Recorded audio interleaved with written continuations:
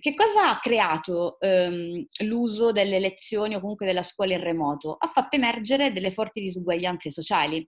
I dati sono allarmanti. Il 30% dei bambini e dei ragazzi in Italia non ha avuto accesso alle lezioni per mancanza a casa di strumenti quali tablet, computer, cellulari o connessione a internet. Questo particolarmente nel mezzogiorno, in particolare nelle regioni quali Calabria e Sicilia.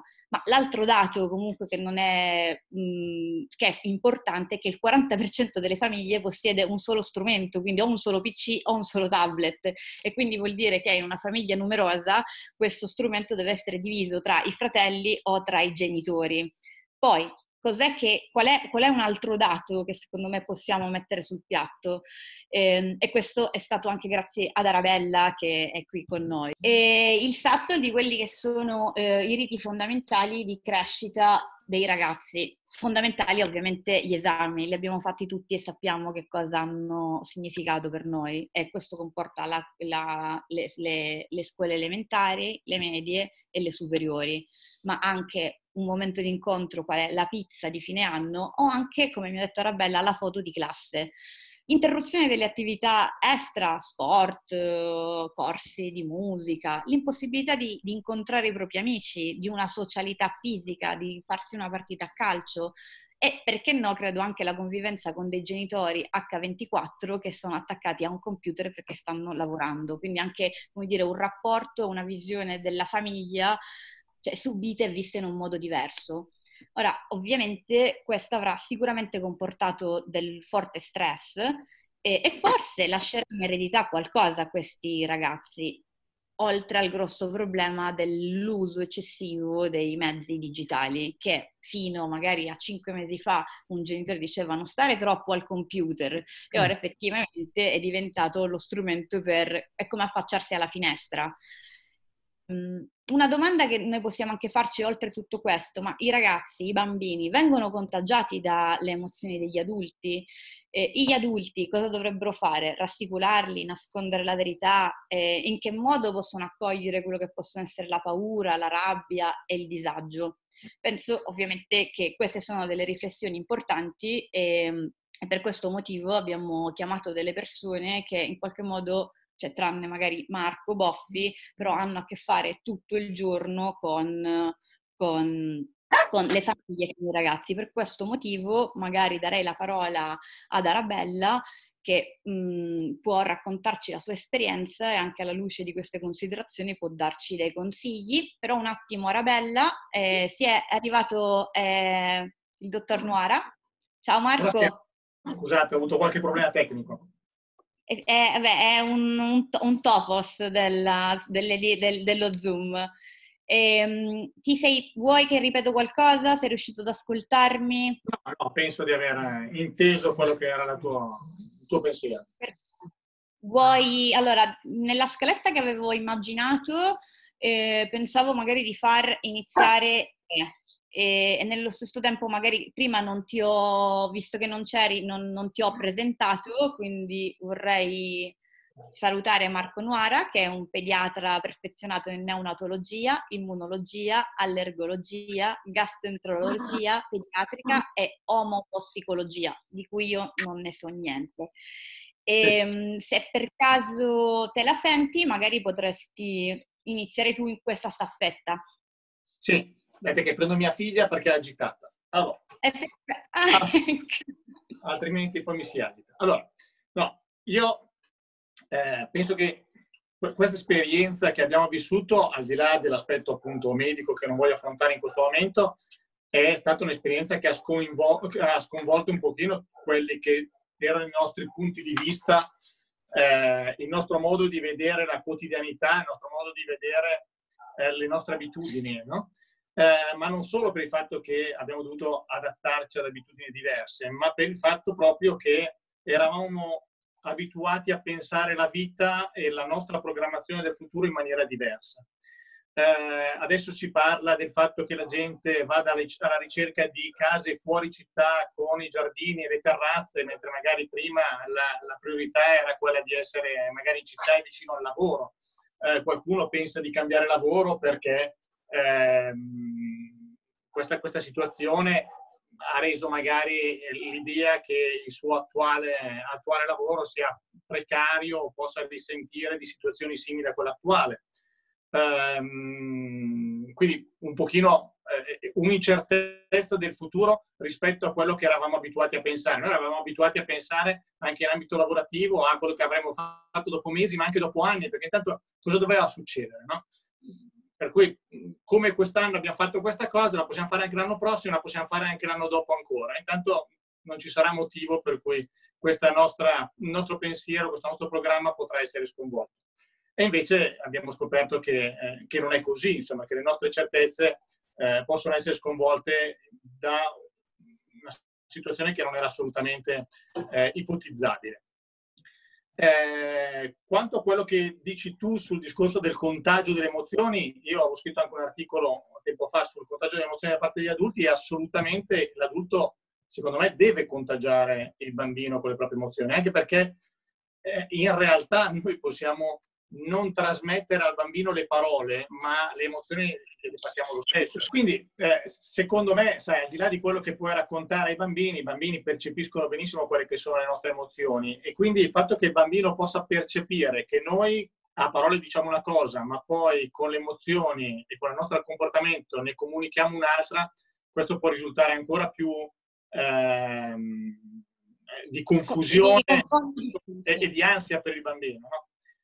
E penso che ugualmente a come sono cambiati un pochino i nostri punti di vista e le nostre certezze, ugualmente questo è, è, è successo per i bambini, anche per i messaggi che gli abbiamo dato noi. No? Noi siamo passati dal dai un bacio al nonno, ma dai un abbraccio, al per carità di Dio, non avvicinarti al nonno, stai lontano. E ugualmente siamo passati dal, come dicevi tu, eh, no, non usare troppo tempo il device, al ah, porca miseria, guarda il device, stai via, stai attento, usalo bene perché ti serve per la scuola, eh, guarda, verifica se non sono arrivati eh, compiti nuovi e così via. E quindi anche que- questi messaggi che sono in contrasto rispetto a eh, quello che vivevano prima, eh, li mette in confusione. Pensa anche al fatto che prima magari il genitore era meno presente, ma quando era presente era disponibile. Adesso il, il genitore è disponibile magari tutto il giorno perché fa smart working, ma è un continuo rifiuto da parte magari dell'adulto di potergli dare attenzione perché il bambino adesso che ha a disposizione il genitore lo cerca paradossalmente più di prima. Eh, perché eh, prima non ti avevo, adesso ti ho qua, ogni 5 minuti ti chiedo di darmi attenzione. Eh, e adesso e, e si trova a dover avere a che fare con un genitore, un adulto che rispetto a prima adesso non è più a sua completa disposizione quei momenti che è presente. Quindi sono tutti i messaggi che sono in contrasto con quello a cui erano abituati. Eh, quello che eh, secondo me dobbiamo garantire ai bambini è il fatto che loro erano abituati che una certa, così come eravamo abituati noi, che una certa routine, una certa abitudine gli dava una, una, una sicurezza, cioè sapeva che cosa, sapevano che cosa sarebbe successo dopo. No? Quindi la routine giornaliera, ma anche la routine della settimana, le, il mantenimento di determinate abitudini, se riusciamo a mantenerlo, mantiene il fatto che il bambino sa cosa aspettarsi, non solo il giorno dopo, la settimana dopo, ma anche eh, nelle ore successive. Eh, cosa che in questo momento è un pochino sconvolta dal sconvolgimento delle abitudini.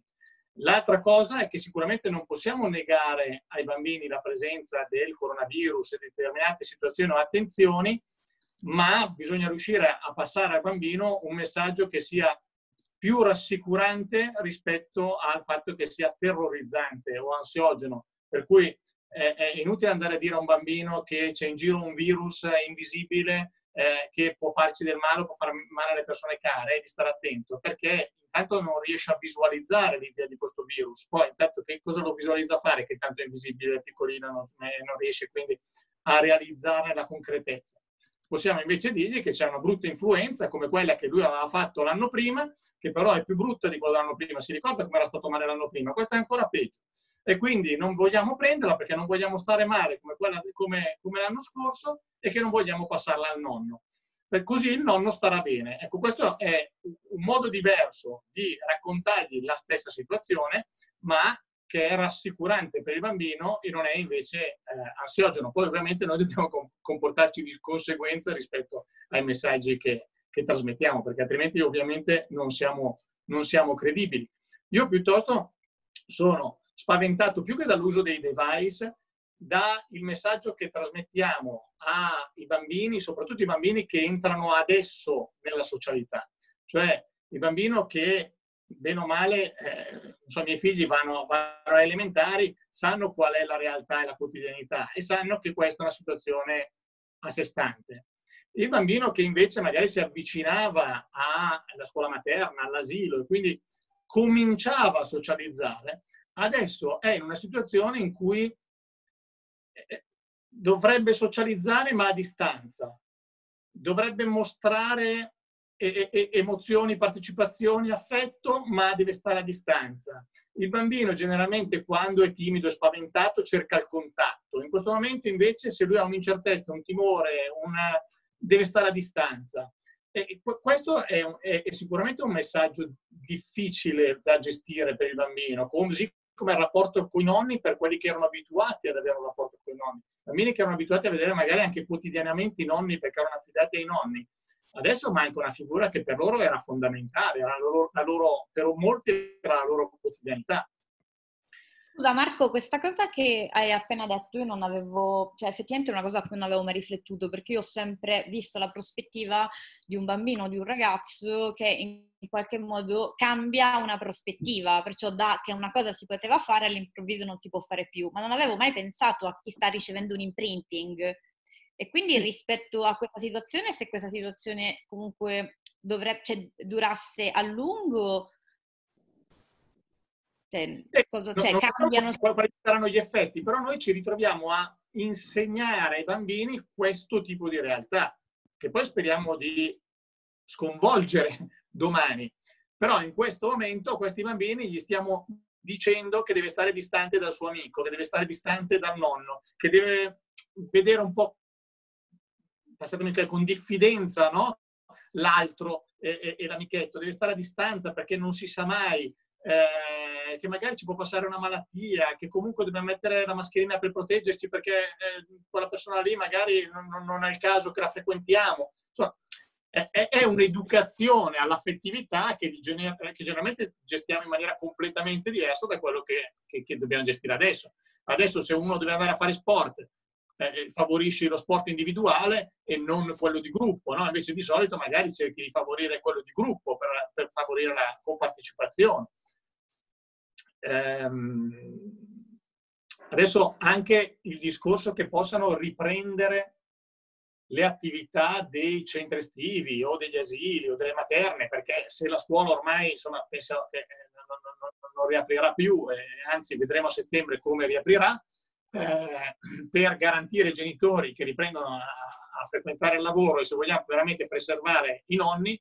eh, questi bambini dovranno essere eh, introdotti in qualche, in qualche qualche modo in, con dei, in dei centri educativi. E la mia preoccupazione era che, eh, ecco, uno di non vedere quello che abbiamo visto in alcune foto, cioè i bambini nel cortile con il cerchio di gesso attorno, in modo che sanno che devono stare lì, non possono uscire da lì, e neanche di vedere queste maestre con la mascherina sulla faccia, perché non è possibile. Il bambino piccolo eh, ha bisogno sia lui di poter trasmettere sia una verbalizzazione, una comunicazione verbale, sia una comunicazione non verbale, ma anche di ricevere una, una comunicazione non verbale. Perché una maestra con la mascherina sulla faccia è, è, è una maestra incomprensibile per grandi tratti. Per cui spero che i neuroni a specchio, cioè non, non, più, non, sono più in grado di praticamente di imparare a decifrare le emozioni che comunque si leggono attraverso la nostra mimica facciale. Certo, e anche fra di loro, perché non è che tutti parlano allo stesso livello di comunicazione verbale, soprattutto i piccolini. E quindi la possibilità di confrontarsi anche con quella non verbale è fondamentale.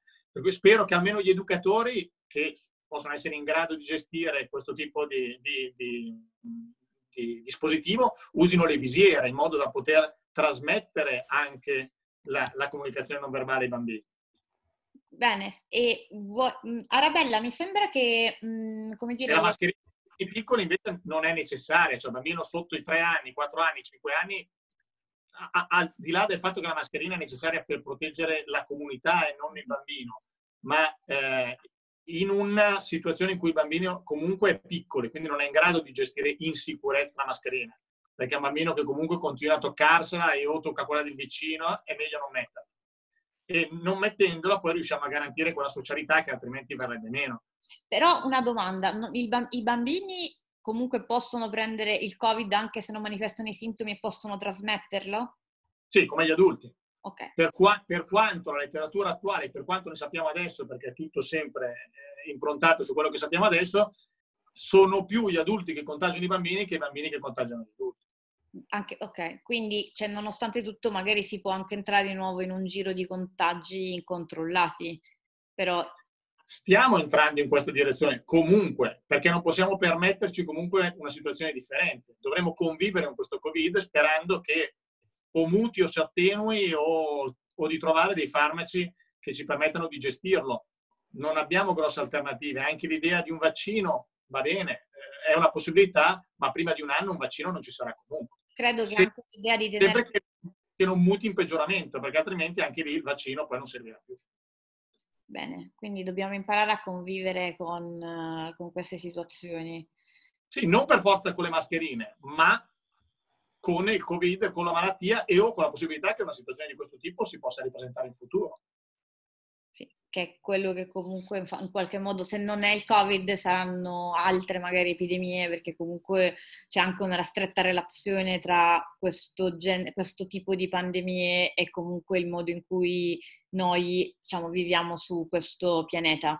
Certo. Quindi cioè, se manteniamo anche certi stili di vita e dobbiamo immaginarcelo. Poi in un mondo globale connesso con queste megalopoli eh, è immag- cioè cosa, sono degli scenari assolutamente immaginabili, quindi magari è il caso che invece di pensare nell'ottica di un'emergenza perpetua si incominci magari a strutturare una società e un futuro sapendo che sono delle situazioni che dovremmo magari affrontare ogni tot di tempo anche perché così evitiamo anche il... Sì.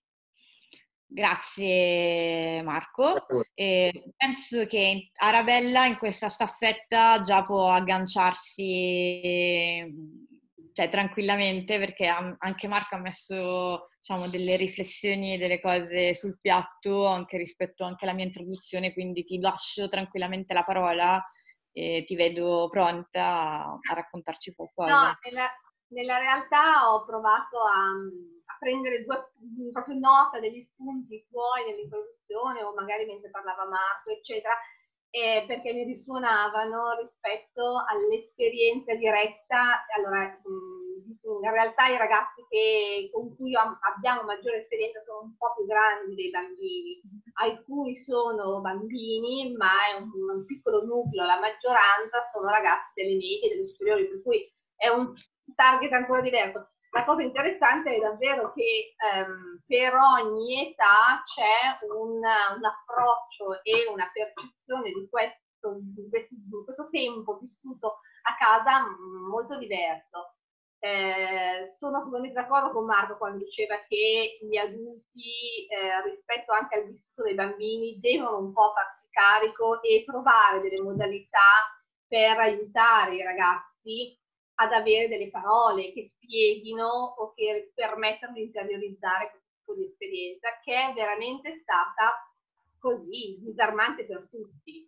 Eh, la riflessione che facevamo in equipe è che eh, mentre nella maggior parte delle esperienze eh, di relazione, eccetera, o comunque esperienze anche di vita che riguardano i nostri figli o i ragazzi che accompagniamo, eh, son, facciamo quasi sempre riferimento alla nostra esperienza personale di quando avevamo la loro età, cioè tantissime volte anche Giulia dicevo io, posso fare la nonna tra un po' di dentro, però come dire, eh, abbiamo un ricordo di cosa ha voluto dire avere 16 anni e dover rimanere chiusi in casa.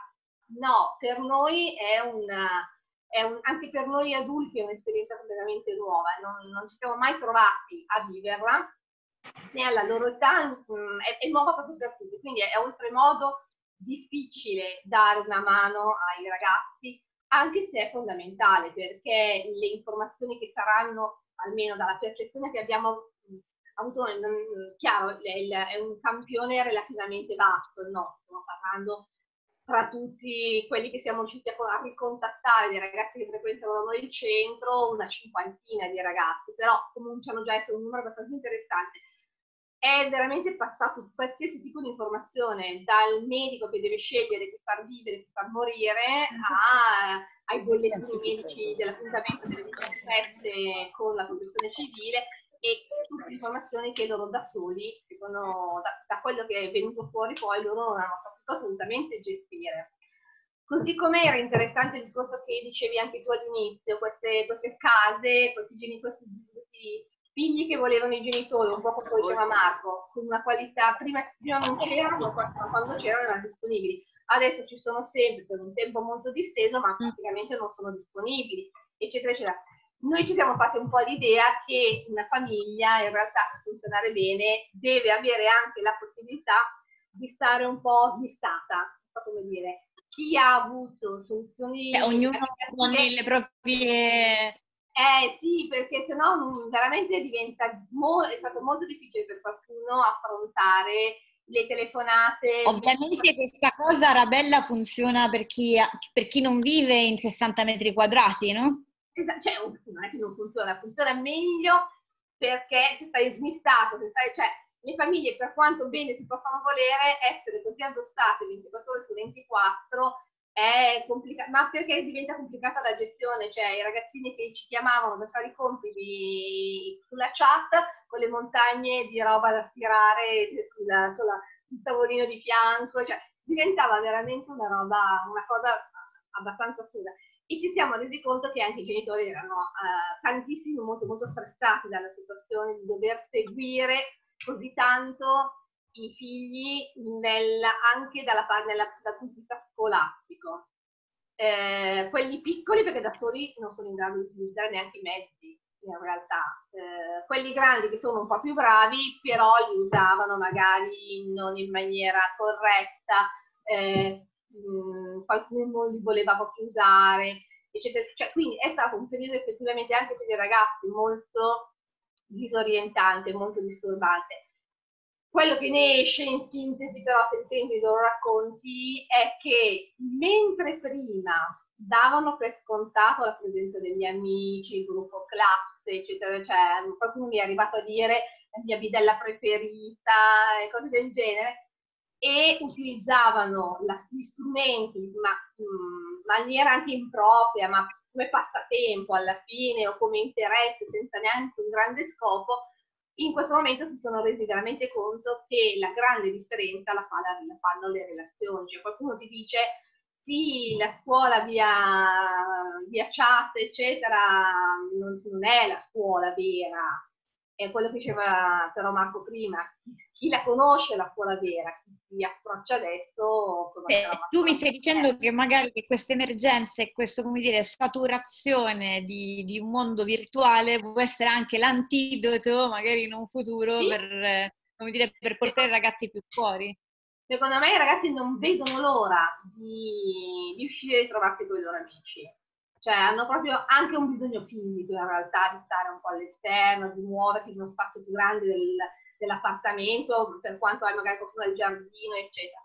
Ma quello che a loro manca è davvero il, sono gli amici, sono ehm, le persone, quindi eh, alla fine quello che fa la differenza è, sono sempre le persone, sempre la relazione tra le persone quindi la, la didattica è, è, bella, online, è stata bella, l'esperienza della classe virtuale, eccetera, eccetera, è stata tutta bella, ma è durata anche per loro alla fine è durata più troppo. Non è, non è quello che vorrebbero, ovviamente, ma credo che sia anche... E poi c'è quell'aspetto che dicevi tu di tutti quelli che hanno la difficoltà ad, ad accedere anche ai mezzi tecnici che diventa un grande limite per loro, eh. diventavano quasi una serie B.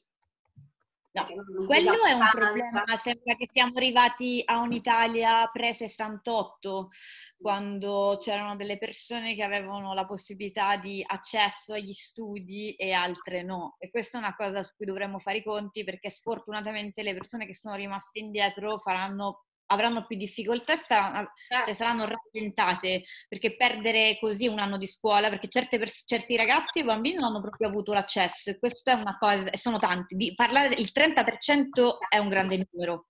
Certo, certo. E, ehm e, e te lo dicono, ti dicono che è tutto un, te, te, lo, te lo comunicano dicendo è tutto un gran, la difficoltà perché ti dicono è tutto un gran caos, non si capisce niente, sei un un po' una badela, all'inizio soprattutto non si capivano gli orari, le modalità, le cose, chi diceva cosa, a chi dovevi dire se non avevi fatto i compiti, se li avevi fatti a chi dovevi, cioè sembrava veramente che loro fossero colti da questa grandissima confusione. Gli adulti vicini, difficile anche per loro dirimere la questione, insomma è stato un po' come un percepire che eh, l'utilizzo di, dei mezzi è quasi come se per i ragazzi fosse un sentimento nuovo da scoprire. Cioè alla fine non è stato solo un mero utilizzo, ma mh, ha mosso dentro eh, una, una, cosa che noi, abbiamo, noi nell'equipo, nelle, anche le educatrici abbiamo chiamato sentimento perché non sapevamo nemmeno noi come, come darli, però alla fine un'emozione, un sentimento davvero nuovo, con la quale non, non, avevano, non avevano idea di come fare a relazionarsi, a, dire, a gestire. Certo è che la tecnologia ha funzionato benissimo, è stato un ombrello in questo, in questo grande caos, quindi è un po' come quando diluvia, c'è l'ombrello, in questo caso il caos era generale, la, la tecnologia ha funzionato come ombrello. Come Ovviamente se fosse stata, cioè, una cosa che forse dovrebbe pensare subito il governo insieme a dare i vari soldi salvavita è magari mettere l'accesso internet gratuito a tutti in questo momento. Eh non... Però vabbè, quella è una, poi si entra nell'ambito della politica e non nel nostro tema. E no. voglio faccio una domanda pre- veloce prima magari di lasciare la parola a Marco Boffi, che, ma tu in questo momento come responsabile di un centro di aggregazione, in un momento in cui si parla di distanziamento sociale, cioè, cosa, cioè com'è che le attività del centro in questo momento si stanno svolgendo? Tutte, cioè, come funziona? Allora le attività in presenza sono tutte ferme, sono attive solo quelle online, eh, sono in chat o comunque al telefono, eh, perché sentiamo i ragazzi, li abbiamo aiutati per i compiti, stiamo aiutando tuttora per i compiti, quelli di terza media per le tesine, è lì che è venuto fuori, per esempio, lavorando con i ragazzini di terza media per le tesine, ora facendoci raccontare da quelli che devono fare la maturità, è lì che è un po' il discorso che ci siamo resi conto che salteranno dei passaggio, che sono comunque importanti, quindi questo esame sì, adesso loro lo vivono un po' con l'ansia dell'esame, ma non sarà la stessa cosa eh, quelli della maturità è, è, è, l'esame della vita, forse peggio per chi si è laureato e forse peggio che quello della, della tesi. Della Io ancora lo sogno, esatto, esatto, tutti lo sogniamo ancora. Io ho fatto proprio una, una, cosa che voi non avete nemmeno fatto, un esame che voi nemmeno avete fatto, perché eh, ovviamente è una questione anagrafica, meramente anagrafica. E, ma banalmente, forse al telefono ce lo dicevamo, i ragazzi delle superiori vuol dire mh, non, di quinta superiore, quindi della maturità, non fare nemmeno la vacanza della maturità, che è un'altra cosa che tutti sogni, tutti, eh, quindi è una, è, è una, sono tante difficoltà messe insieme. Comunque, tornando a quello che noi facciamo, in realtà lo stiamo facendo comunque a distanza perché questo era previsto. Proprio oggi mi sono interfacciata anche con l'assessore della sociale del Comune di Nova Milanese perché inizieranno dei tavoli di ragionamento su cosa si potrà fare sui centri estivi. Sono uscite ieri le direttive precise per cui si potrà inventare qualcosa per uh, far fare ai ragazzi delle esperienze al di fuori della casa, tornare a socializzare, tornare a una sorta di normalità con tutte le, le, le, le attenzioni necessarie e per vedere incontro anche delle famiglie che dall'altro canto o tornano a lavorare, quindi sono fuori casa, oppure se hanno, come alcuni mesi, insomma, sono in smart working, difficile conciliare il tuo lavoro con uh, il bambino che deve fare i compiti ti chiede continuamente, non mi ricordo com'è l'analisi grammaticale del, del verbo, eccetera, eccetera. Quindi faccio anche in questo momento, come dire, un servizio alla comunità soprattutto di Nova Milanese. Chi magari non conoscesse questo centro Spazio Vita mm-hmm. è un genitore che magari si troverà a vedere sui nostri social la nostra registrazione del nostro video, di, di se ha problemi o comunque vuole avere un supporto eh, alla famiglia e ai propri ragazzi di contattare Associazione Spazio Vita eh, o magari Arabella Ambivieri. Magari facciamo anche un servizio alla comunità per chi magari non conosce questo centro. E ne approfitto a questo punto che secondo me cade anche a pennello, cioè quando le cose praticamente funzionano perfettamente, eh, per mm. dare la parola a Marco Boffi, che quando, l'avevo già detto all'inizio, la, l'avevo invitato per questo incontro, ovviamente mi ha detto io non, non, non mi occupo di bambini, ma sto conducendo una ricerca sull'identità di luogo e sull'attaccamento ai luoghi. Ora, questa cosa mi sembra che si può assolutamente declinare anche in questo, in questo nostro appuntamento o riflessione. Quindi Marco, senza nessun indugio, ti lascio la parola. Sì, in effetti, ehm, sentendovi parlare, eh, in realtà avete eh, eh, in modo più, più o meno implicito eh, eh, fatto più o meno esplicito, fatto riferimento a tutta una serie di, eh, di aspetti che eh, riguardano eh, i luoghi. Poi eh, un po' in, in, secondo piano perché eh, giustamente in, in, questo, in, questo, periodo a soffermarci molto sull'aspetto di relazione con, eh, con, gli altri, con i parenti, con gli amici o con, o con i nostri pari, eh, però eh, nelle, negli esempi che, eh, che, facevate, che facevano sia Arabella sia, eh, sia Marco, eh, si faceva riferimento a, ad alcuni luoghi specifici come può essere la scuola, l'asilo o anche l'esempio della, della casa, no? del, del, bambino che fa lezione da casa con il cumulo di, di panni accatastato sul, sull'orecchio. Queste sono tutte riflessioni che ehm, eh, io sto, sto facendo con, con, alcuni colleghi, appunto non occupandoci nello specifico di bambini, eh, ma ragionando eh, su, eh, su attaccamento eh, di luogo, che è un, un concetto ehm, su cui ehm, eh, lavorano da, da, anni gli psicologi, eh, che ehm, sostanzialmente cerca di descrivere quel tipo di legame che ciascuno di noi sviluppa con i luoghi significativi della, della, propria vita. Cioè l'idea di fondo è che noi abbiamo del, eh, delle relazioni e sviluppiamo un attaccamento con alcune persone importanti nella nostra vita, tipicamente i genitori, ma in generale tutte quelle figure che, che ci accudiscono eh, e che quindi eh, eh sono quelle persone che eh, eh, si prendono cura di noi, verso le quali sviluppiamo un affetto particolare e sono quelle persone dalle quali ci separiamo ma a cui poi eh, ritorniamo o alle quali è importante sapere che possiamo ritornare, trovare eh, accoglienza, accudimento, conforto in alcuni momenti. Allora, l'idea è che lo stesso tipo di relazione eh, in realtà noi la, la, instauriamo con una serie di luoghi eh, che ci circondano, eh, che possono eh, variare molto di scala. Questo, questo tipo di attaccamento lo possiamo sviluppare con la nostra, con la nostra cameretta, eh, con, la, con, la, casa in cui siamo cresciuti, con, con la via, con il quartiere. Cioè è, un, è, un, concetto che eh, può essere replicato eh, a diverse scale, ma di fondo il, il principio eh, è che eh, è importante che noi nella nostra vita eh, riusciamo a fare esperienza di una serie di luoghi ehm, all'interno abbiamo una serie di esperienze eh, importanti e formative per noi. Alcune che possiamo fare in, più in, eh, diciamo in, in, autonomia, in solitudine, altre invece che eh, facciamo in condivisione con, con, gli altri. Per cui il luogo dove noi eh, instauriamo eh, delle, delle, relazioni con quelli che saranno poi i nostri amici storici nel, nel corso della vita, eh, il, il luogo dove eh, conosciamo l- il fidanzato, dove eh, facciamo anche dei passaggi importanti, prima la, la maturità.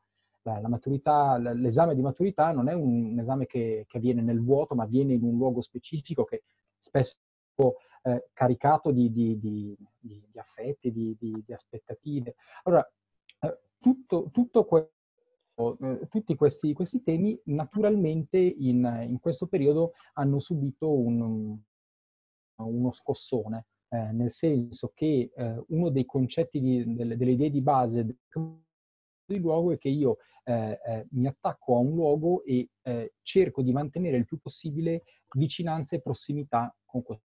Per me è importante un luogo eh, nel quale io cerco, cerco, di tornare, stesso vedere i miei amici in una chat o no, su una, eh, su, su, Zoom o, o, quant'altro, o incontrarsi eh, sulle scale della, della scuola del, che, che, frequentiamo, incontrarci nella piazzetta dove, eh, dove ci troviamo di solito. Allora, eh, eh, la, la, la, riflessione è fare attenzione anche a eh, che tipo di conseguenze avrà questo, eh, questo, allontanamento forzato che c'è stato e anche come verrà gestito tutto, tutto il post. Noi abbiamo già visto no, che eh, ehm, legittimamente eh, da parte delle istituzioni ci sono tutta una serie di, di vincoli adesso nel eh, ritornare a utilizzare gli, eh, gli spazi pubblici, eh, i parchi, in particolare eh, le aree gioco per, per, i bambini che sono ancora, quantomeno nella, nella, zona di Milano, delle zone particolarmente critiche. Eh, però tutto questo naturalmente eh, avrà un impatto sul tipo di relazione che, eh, che i bambini instaurano con, eh, con il, il, loro quartiere, la, la, loro, la loro, città.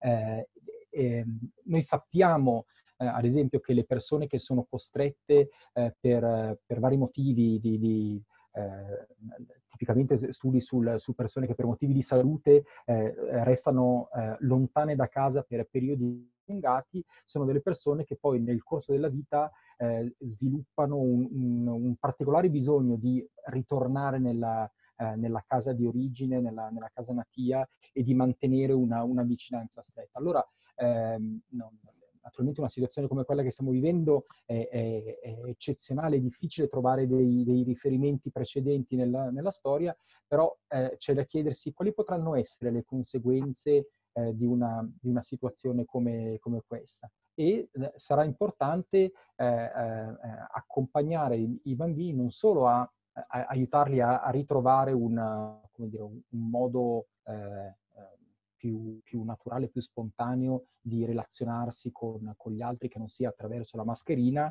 ma anche un modo per ricominciare a vivere eh, gli spazi senza, senza l'ansia di non poter toccare, non poter toccare qualcosa o eh, non, non, poter incontrare gli amici in una, un luogo specifico.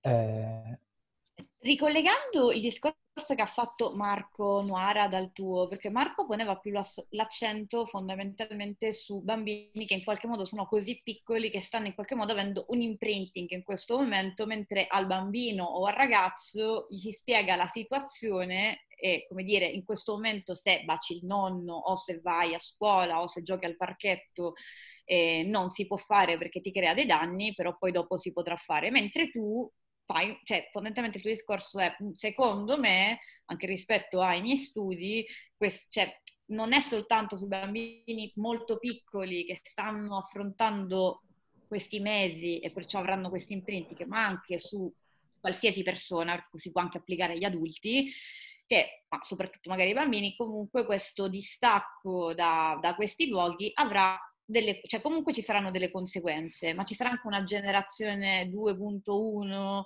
di, di ragazzi?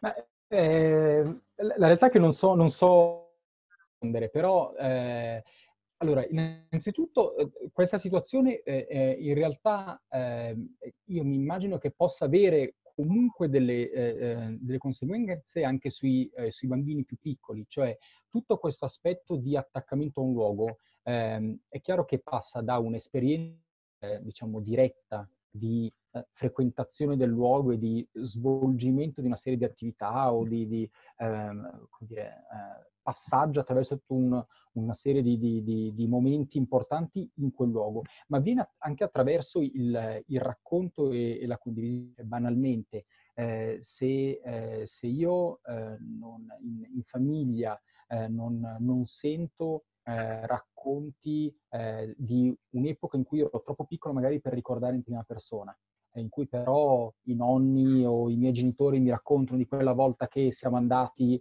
eh, nella, nella, nella, piazza Tal dei Tali o nel giardinetto, o non vedo mai foto eh, di, di, me che eh, gioco con i miei genitori quando, quando erano giovani in, in quel determinato spazio, quel, quel luogo no, non entra a, far parte del mio, eh, del, della mia identità. Eh, e quindi c'è il, c'è il, rischio di, dire, di, crescere avendo un attaccamento che è sostanzialmente circoscritto alla, al proprio, uh, alla propria sfera uh, casalinga eh, e, di, e, di, perdere un po', uh, che perda rilevanza la, tutta la parte di, di, di, quartiere, tutta la parte pubblica, che poi è quella che mi riconnette con, con gli altri.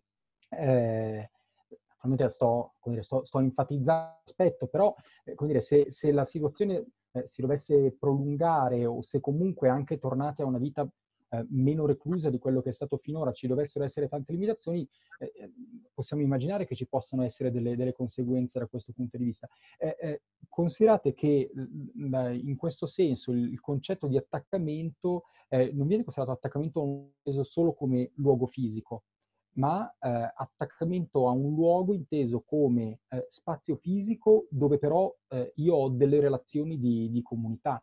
Eh, quindi um, un, la possibilità di un indebolimento rispetto al, al sentirmi parte di una, di una, comunità, sentirmi parte di un, una, una, cerchia più ampia che condivide un, un luogo, degli interessi, dei, dei principi, dei, dei, valori, può essere uno dei, eh, dei dei meccanismi che si possono immaginare in una, in una situazione del genere.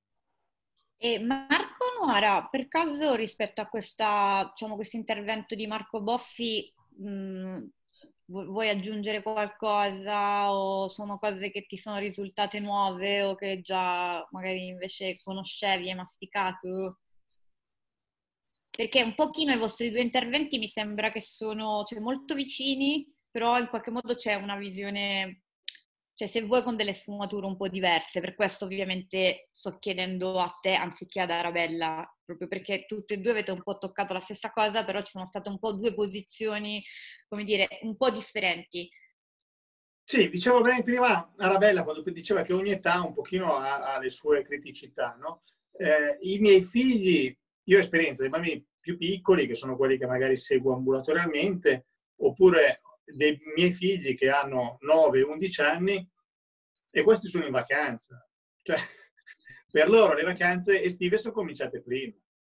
Per cui fanno un po' i compiti come se fossero i compiti delle vacanze, hanno questo tipo di rapporto con l'insegnante in videoconferenza che però nulla a che fare con una, una lezione frontale e se già eh, può non essere particolarmente coinvolgente una lezione frontale, figurarsi una lezione attraverso lo schermo. Oltretutto, poi loro possono chattare fra di loro, possono chiudere lo, la, la, telecamera, perché vabbè, fanno delle robe che eh, ecco, eh, sarebbe come stare a fare lezioni in classe col telefonino in mano. Ecco, che ci siano o non ci siano, poi in realtà che cosa pensano lo sa Dio. Ehm, io penso che comunque quello che manca in questo momento dal punto di vista della didattica, non tanto della rapport, è che ci siano invece eh, dei programmi interattivi, cioè che ci sia la possibilità di fare delle lezioni interattive, ma non interattive con una persona, interattive con il device, sì. in modo che il bambino sia coinvolto nell'attività, perché in questa maniera qui in realtà loro si confrontano con l'insegnante o con i compagni per un'oretta, per due orette, e poi dopo devono fare i compiti a casa. E questo, vabbè, appunto, li fa vivere un pochino i miei figli, n- non vivono granché questa situazione di, di, stress. Uno, lui non è sportivo per niente, per cui non gli manca certo il movimento. E lui è un nerd, per cui l'idea di poter stare a casa con i device per lui è il massimo. Non poteva desiderare di meglio. Se potesse desiderare un'altra pandemia, la desiderare. Eh, Beh, la, la, qualcuno che la sorella meno, ma essendo in preadolescenza, a lei piace comunque eh, guardare i social o tutti i telefilm dedicati agli adolescenti.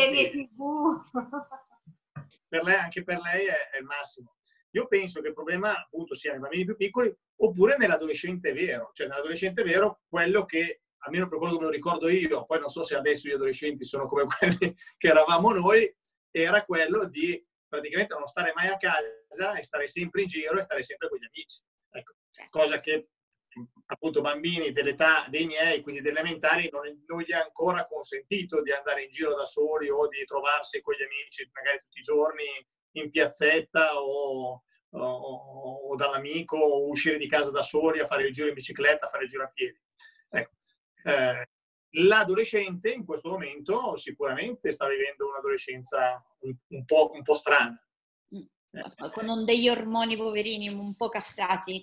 E se poi pensi, io ho visto eh, un intervento che parlava della timidezza, no? se tu pensi che la, chi è timido in questo momento, oltretutto, eh, non ha la possibilità di un rapporto diretto e quel rapporto diretto deve essere a distanza, è ancora, è ancora, più difficile, diventa tutto più difficile. E adesso stiamo invogliando a maggiore, a maggior ragione l'utilizzo dei rapporti attraverso i social o attraverso comunque i device, cosa che fino a due mesi fa, tre mesi fa, diceva per carità di Dio, ma tu devi entrare in contatto con quella persona, ma non attraverso il video. Ma anche perché io non, non lo so, poi non, non, mi occupo, però a quanto pare poi le attrazioni, le amicizie, c'è anche una questione, cioè noi cioè, sentiamo degli odori, cioè sprigioniamo delle, come dire, sì, dei in realtà, eh, secondo me già gli adolescenti un po' ci erano abituati. Eh. Okay. Però certo, avevano la libertà di dire, però a un certo punto io anche la mamma e papà li sopporto fino a un certo punto, poi prendo e vado a trovare i miei amici. Ecco, questo adesso non lo possono fare, o almeno fino adesso non l'hanno potuto fare. Io penso... Adesso si spera che abbiano la voglia di uscire. Una cosa importante, una cosa importante che tu hai detto è quello sulla eh, questione della didattica, oltre al fatto che già abbiamo un po' detto prima che c'è il problema chi arriva e chi non arriva, il fatto è che non, non possiamo adattare una didattica vecchio stampo a questi strumenti, cioè bisognerebbe proprio riformulare una didattica, perché se no abbiamo degli strumenti zoppi e con una didattica eh, riformulata e ripensata alla luce di questi strumenti forse nel, cioè, ovviamente alla luce del fatto che tutti devono accedere a internet e ai device, forse le lezioni sono un po', cioè andrebbero un po' diverse. E prima, oggi, prima di connettervi con voi, guardavo eh, una video intervista di una sociologa che in realtà lei non era per niente, come dire, allarmata rispetto alla questione eh, lezioni nel, col device, anzi diceva che agli, per gli italiani potrebbe essere che questa cosa fondamentalmente sta insegnando alla didattica italiana una dimensione meno frontale del rapporto alunno-insegnante, cosa che magari già in Europa eh, c'è più praticata e che molto probabilmente un tipo di, di, lezione di andare a scuola potrebbe essere attraverso i, i ragazzi col computer guardano le lezioni e poi la scuola diventa il luogo dove si fa i compiti, il luogo del laboratorio, proprio perché in qualche modo l'idea della, della, lezione proprio verticale, il professore che parla, ehm, come dire, l'alunno che ascolta, è una cosa che non c'è bisogno di essere in aula, mentre magari in aula si possono fare altre cose, si può creare invece una, una lezione più partecipativa. E quindi lei diceva, ok, ovviamente questa cosa che è successa non è una cosa bella, però prendiamola come una buona opportunità per ripensare magari la nostra didattica e quindi per scardinare determinate gerarchie delle metodologie. Ovviamente se questa situazione si prolungherà e se magari il prossimo anno ci troveremo ad essere chiusi eh, a casa, fuori, cioè con una specie di intermittenza, assolutamente la didattica dovrà in qualche modo eh, prendere la sfida di adattarsi a uno strumento come tutto più interattivo. Essere, possono essere pure dei giochi. Io, nel, certo. io mi occupo cioè, di arte e in questo momento ci sono alcuni esperimenti di interviste, di talk che vengono fatti dentro giochi tipo The Sims. Perciò sono interattivi e tu sei all'interno di un gioco ehm, con un avatar banalmente ed è molto interattivo per i bambini che hanno dei bisogni speciali è già previsto l'utilizzo, per esempio, dei device, no? E ci sono anche la possibilità appunto di fare delle attività interattive a computer e poi di avere dei punteggi e quindi di, di, di avere la possibilità anche di raggiungere degli obiettivi quindi essere anche motivati a fare un punteggio e raggiungere degli obiettivi. E uno ti insegna anche l'utilizzo del device, perché comunque pensare che un bambino nel 2020 eh, non, non, sia capace, poi a casa, vabbè, appunto, se c'è una disposizione sono capaci, ma comunque che non debba confrontarsi con l'utilizzo di un computer o di un tablet è, è, è anche assurdo, no? è anacronistico. Eh, per cui anche insegnargli a utilizzarlo mi sembra che nella maniera corretta e di poterlo utilizzare anche per istruirsi mi sembra, mi sembra stimolante. Assolutamente. Mi, mi, permetto solo di dire che anche qui dipenderà molto dal senso di responsabilità di noi adulti, perché alla fine il corpo docente è formato da adulti, sono loro per primi che devono scegliere di continuare a formarsi, a riaggiornarsi, imparare, perché tantissimi dei docenti fanno anche avere a volte l'umiltà di imparare dai loro studenti su come si utilizzano le cose, eccetera non sempre è così. Sicuramente questa, questa necessità ha dato una, dire, una, spinta verso per amore o per forza dobbiamo, dobbiamo imparare. Volevo solo dire una cosa, ricollegarmi invece a quello che diceva prima Marco Boffi sulla, sull'attaccamento ai luoghi, che è esattamente quello che noi viviamo nel, nel, nei discorsi dei ragazzi di questi mesi. Quando ti dicono che ci manca la, venire in associazione, manca lo spazio fisico di dove si trovavano, che non è casa loro, che non è la scuola, ma è un posto loro che alla fine un po' hanno arredato loro, hanno aiutato a tenere in ordine, hanno aiutato a pulire, hanno potuto appendere delle loro cose, eccetera. Quindi eh, che non è solo uno spazio fisico, è una, uno spazio di relazione, uno spazio di esperienza.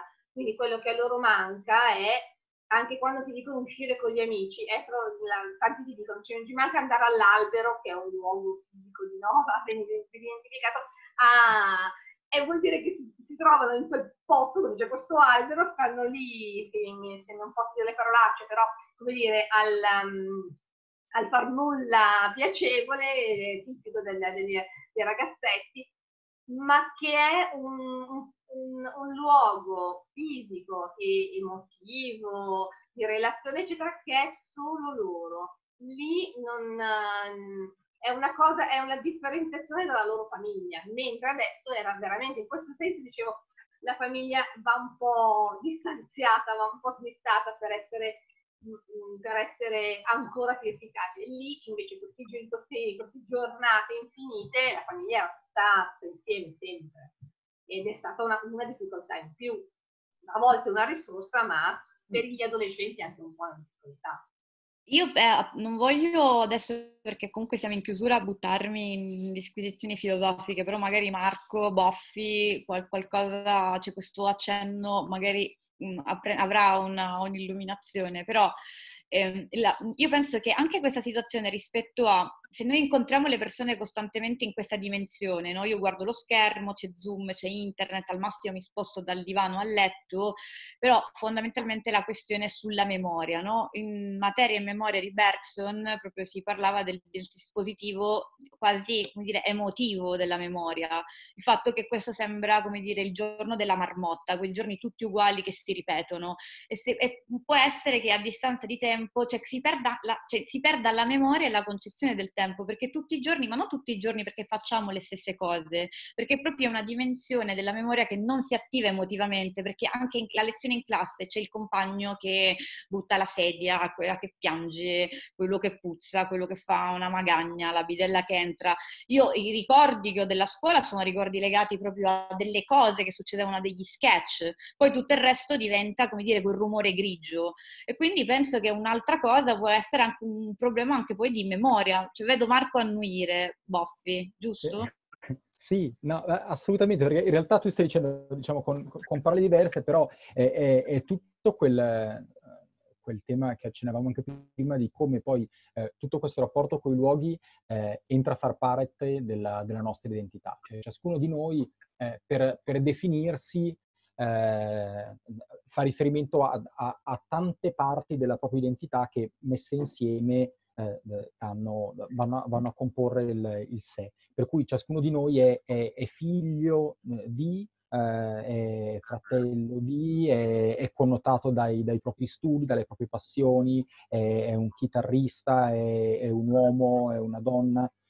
E ciascuno di noi attribuisce maggiore o minore importanza a questi aspetti. Eh? Ci sono quelli eh, per cui aver fatto un certo percorso è, è, molto importante, diventa un elemento caratterizzante, quelli per cui invece non lo è, invece è importante, non so, l- l- gli interessi legati alla, alla musica, all'arte. Eh, tra tutte queste componenti dell'identità, l- la, la, parte spaziale, eh, anzi la parte di luogo, è, un, è una parte importante, cioè eh, per, alc- per, alcune persone il fatto di eh, essere di Nova eh, è un, un, aspetto importante de- della propria identità, ma se io non ho la, la possibilità di fare delle esperienze significative con gli altri in, in, un, in un, luogo condiviso, eh, quella parte della mia identità ha meno occasioni di, di svilupparsi, di, di, di, crescere, di diventare una parte anche ri, ricca e importante della, della, mia identità, si atrofizza eh, un pochino, che non vuol dire che, che allora io, come dire,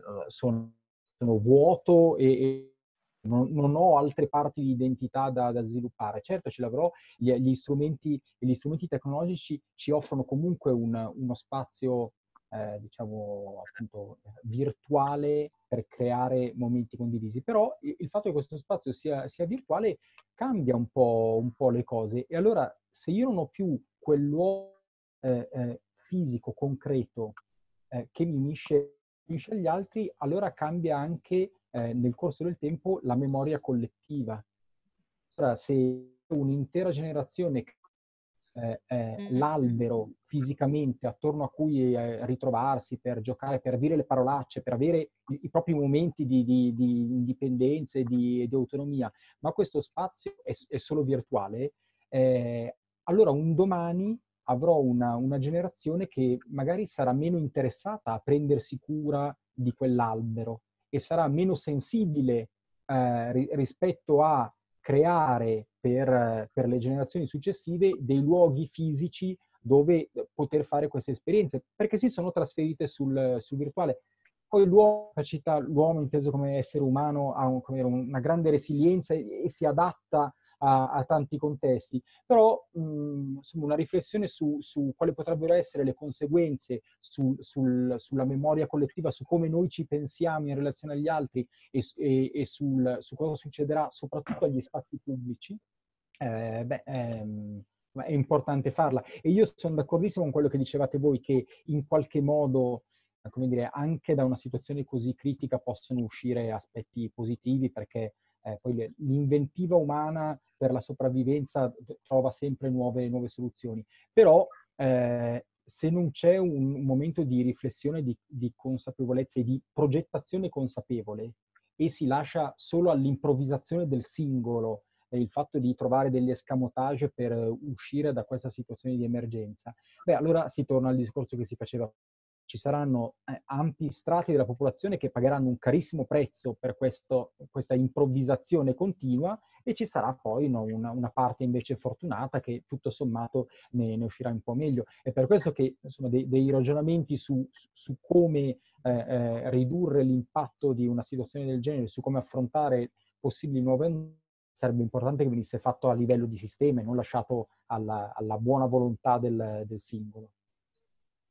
Esatto, grazie Marco. Allora, eh, in realtà saremo in, cioè, fra un po' stiamo in chiusura, quindi se per caso qualcuno che è qui con noi connesso su Zoom, perché la, la peculiarità di Zoom è il fatto che è un po' interattivo, quindi chi è con noi eh, può anche o fare una domanda o rispondere o comunque lasciare la propria testimonianza, quindi magari i, i meno timidi che hanno voglia di di fare delle considerazioni eh, possono farlo? Magari scrivendo in chat eh, posso io così vi smutiamo se vabbè, smutatevi e parlate, c'è Magda Rossi o Luigi Rossi o Marta o Giovanna o Patrizia la stessa Marta, mentre voi vi, come dire, trovate il coraggio di salutarci o dirci qualcosa, ehm, cioè ne approfitto anche per dire che questi incontri, oltre al fatto che verranno registrati, però um, cioè una, ci, ci, tengo molto magari in qualche modo a, fa- a a trascrivere degli estratti di queste conversazioni per provare a fare un lungo testo, quasi una scrittura collettiva, ehm, che diventi poi un unico testo poi magari potrà diventare un ebook, potrà diventare una testimonianza, una testimonianza da lasciare, quindi sappiate che tutto quello che avete detto sarà poi trascritto su, su carta bianca e io vorrò, cioè, so, lotterò per farne insieme a Rossi una pubblicazione anche solo in digitale. E, um, c'è qualcuno che vuole parlare per caso? Magari Luigi vuole salutare o Magda o Marta? Eh, Luigi ci saluta ma non ha dovuto uscire per problemi di lavoro. Ok. okay. Vabbè, ma eh, non vuole parlare nessuno. Perfetto. Allora allora, ne approfitto, sem- cioè, mi dispiace parlare sempre io, sembro un po' una narcisista. Eh, vi, vi, anticipo che il prossimo incontro al 99% sarà sabato 30 maggio e avremmo, sarà dedicato un po' a una prospettiva politica e con noi ci sarà Martin Guevara Duarte, che è uno scrittore intellettuale nonché nipote del CE, Guevara, e Fernando Garcia Barros, che è un professore di storia dell'arte presso l'università in Bolivia, e poi Elia Chicco, che mm, è un cofondatore de, di una rivista QR Code Magazine molto politicizzata e affronteranno diciamo, diciamo, questo stesso tavolo che abbiamo fatto oggi dalla prospettiva dei bambini, però da una prospettiva più magari politica. Ovviamente io penso che alla fine di tutti questi incontri si arriverà al bandolo della matassa, perché un po' eh, il gioco di queste staffette era quella, vediamo un attimo a, a prendere questo prisma eh, e a guardarlo da più sfaccettature diverse, non soltanto rispetto a bambini e anche posizioni lavorative, dove ci sarà anche il lavoro, ma anche banalmente legato a geografie diverse, perché quello che stiamo vivendo noi in Italia, in altri posti del mondo lo stanno affrontando in un altro modo. Cioè, giusto per fare un esempio, in Asia è, molto, è, anche molto normale tenere la mascherina, mentre per noi è una cosa è un po' inaudita, quindi cioè, loro sono abituati a uscire e tenere la mascherina, come ad esempio negli Stati Uniti le persone non sono abituate a toccarsi, abbracciarsi eh, quando si incontrano, mentre per noi quello che è il distanziamento sociale, quindi non avere un contatto fisico, ha una portata diversa.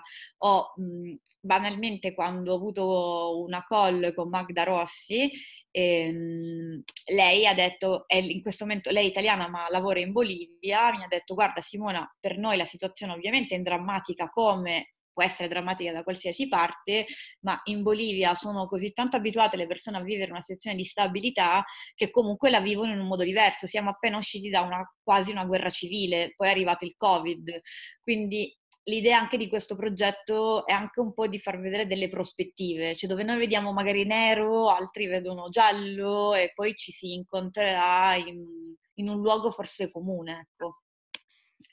Se nessuno vuole dire niente, non so, ci salutiamo? Sempre un po' brutto chiud- cioè, so, chiudere la conversazione. Voglio allora, salutare ring... anch'io. Buonasera. Ah, ecco. Il dibattito è stato molto interessante e si va per piccoli pezzi, per piccole azioni o letture del, del problema eh, dovremmo cercare di fare o di proporre o di mantenere una sintesi di questo lavoro che non si esaurisce qui come diceva Simona, ma ha, veramente mm, la, la, la, la, capacità di, di, entrare in interstizi del nostro pensare, del nostro essere, del nostro vivere con gli altri, facendoci vedere de, delle sfumature e dei grigi assolutamente eh, non usuali eh, cioè stiamo parlando di cose assolutamente diverse o con prospettive molto diverse di, di, rispetto a quelle che, eh, di, cui, di, cui, parlavamo due mesi fa. abbiamo la tendenza a ritornare come prima, ad ancorarci al nostro passato che ci dà sicurezza, ma siamo costretti a ragionare per ore di cose che non sono ancorate al nostro passato, non sono ancorate alla nostra socialità conosciuta, ma sono, sono, elementi di meditazione, di evoluzione, di, di, crisi rispetto a quello che stiamo vivendo.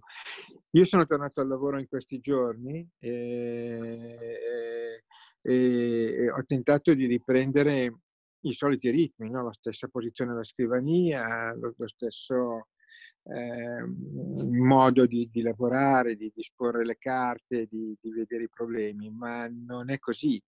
Eh, emerge anche un, un, un, un, modo diverso di lavoro, cioè non si lavora come prima, non si lavora meglio, eh, anche questo bisogna dirlo. Quello che manca al lavoro di tutti i giorni, tutta la gente dice ho lavorato molto di più, ma la mancanza di socialità ci fa lavorare, ci stanca molto di più, il lavoro è meno creativo, eh, ognuno di noi è stato in casa tre mesi, in case piene di libri e sono sicuro che pochissimi sono riusciti a leggere, almeno da quello che mi riferiscono, o a lavorare e questo fa pensare. Eh, il lavoro fa fatica ad andare avanti perché la, la creatività è fatta di relazioni diverse da quelle eh, che, siamo, che, eh, che, che, eravamo abituati a fare e comunque non è che scomparsa la creatività, fa fatica a, mer- a emergere con, con, queste nuove condizioni.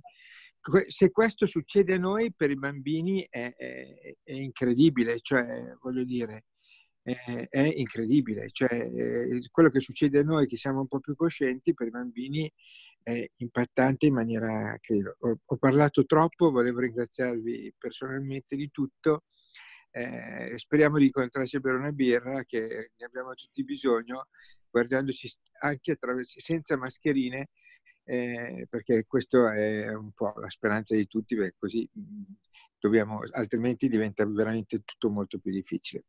Grazie ancora, arrivederci. Grazie. A risentirci. Grazie Luigi, effettivamente come dire un altro step di questo progetto potrà essere quando potremmo stare tutti quanti in una, in una stanza unica, fare un bel seminario, un incontro tutti quanti Perfetto. e poi magari andare a trovare in ambulatorio in ospedale il dottor Nuara. Va bene. Allora, vi, se nessuno vuole parlare, direi che diciamo, siamo, abbiamo un po' sforato anche il tempo, ma la, la conversazione diciamo, ne valeva la pena, quindi senza, cioè, chiudo, eh, vi saluto e vi do comunque appuntamento a, se volete connettervi a sabato 30 maggio.